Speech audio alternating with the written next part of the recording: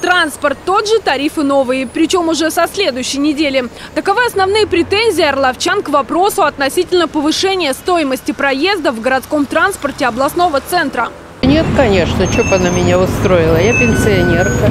Меня устраивает, допустим, сейчас стоимость, а 16 рублей это для студентов, я думаю, очень много. Пенсионерам это очень дорого.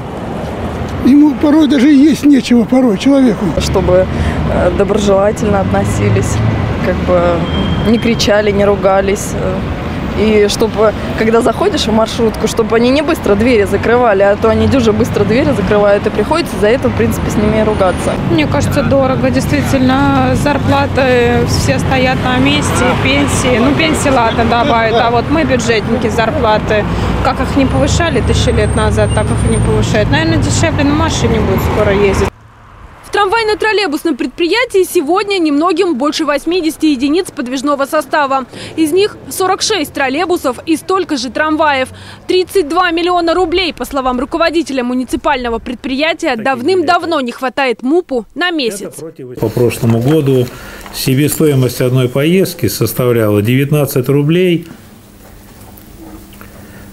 19 копеек. Средняя. На конец года она выходила 20 рублей. А тариф у нас был 12 рублей.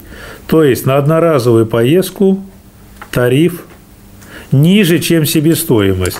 Во вторник руководство предприятия собрало на брифинг представителей СМИ города. Журналистов уверяли в том, что городской совет принял не популистское решение, а жизненно необходимое для спасения муниципального предприятия. А тем временем обоснованность повышения с 12 до 16 рублей поручил проверить своим заместителям губернатор области Вадим Потомский. На прошедшем накануне в областной администрации аппаратном совещании этому вопросу уделили особое внимание.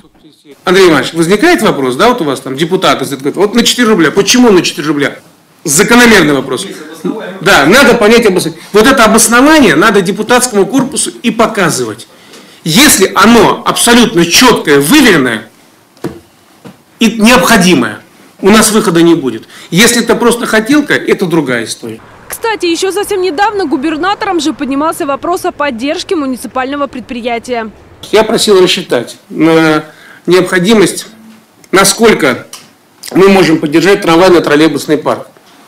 Если э, количество потока, перевозимого его транспортом, будет увеличено за счет того, что не будут побочные параллельные маршруты коммерческого толка. Потому что у нас получается так, у нас сливки собирают, а свое предприятие умирает. Новый 16-рублевый тариф начнет действовать с 15 февраля.